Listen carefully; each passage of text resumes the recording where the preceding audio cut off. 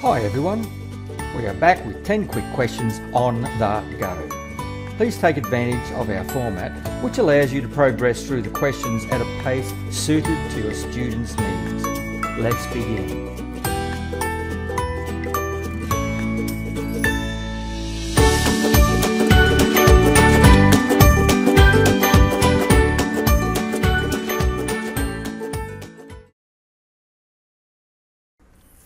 Question 1. Rewrite the sentence with the correct punctuation and spelling. There are some very serious mistakes made in the spelling and punctuation in this sentence. R listen carefully as I read it. Foods such as nuts, tofu, and cheese have calcium in them, which is very good for making your bones strong. Note the pause between the list of foods there. So you should know that you put a comma in there. And uh, see how you go. Question two. A sentence or a principal clause it's sometimes called is a group of related words containing a subject and a verb. Rearrange these words to make a clause or sentence. Been fed full stop. Have not the dogs yet. And just remember that a sentence can also be called a principal clause. We'll talk more about clauses later. They don't always have a subject. And there are different types. Question 3. Unjumble these words. The words in the box are spelled correctly to help you.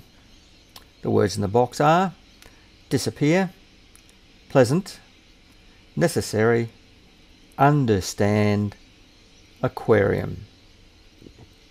Question 4. Homophones are two or more words that sound the same but have different meanings or spellings, e.g., right and write, the right way to do something and to write a sentence. Which of these words are homophones? In other words, which of these words can have homophones? Or words that sound the same but have different meanings or spellings to, to ring, to which, to mother, banana, bacteria. Some of those words do not have homophones. Write the ones which do. Question 5. Rearrange these words in alphabetical order. Crowd, organisation, afternoon, house, daughter. First you would look at the first letter of the word. Then if there are two words that start with the same letter, then you would look at the second letter. If a word starts with two letters that are the same, you would then look at the third letter to see which alphabetical order, according to the alphabet, they come in. Question 6. What time does the teacher's clock show right now?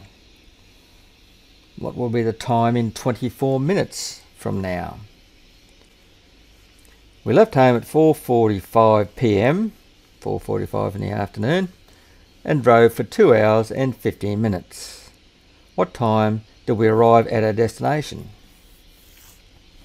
Question 7. On your calculator, which symbol is used to reach these numbers? In other words, what do you do to in the first one to 162 to get 162? What do you do to 155 and 46 to get 109?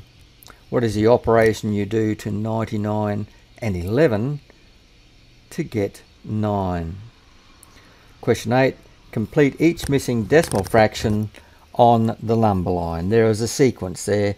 You have to work out what it is. What is the rule?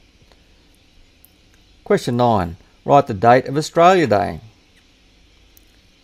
What season is March in? Question 10. Rashid was saving up for a book that cost $8.30. He earned $10 from helping his grandmother in her garden. Did he have enough for the book? If so, how much change would he receive?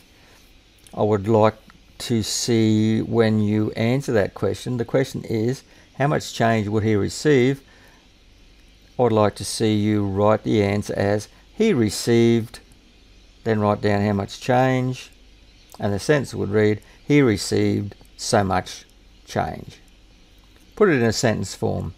That way, your teacher can be very clear on the answer you have given. So that's the end of the 10 quick questions a day on the go for today. Make sure you like, subscribe, and comment to our channel and head over to the website for more workbooks and resources for teachers, parents, and kids. Bye for now.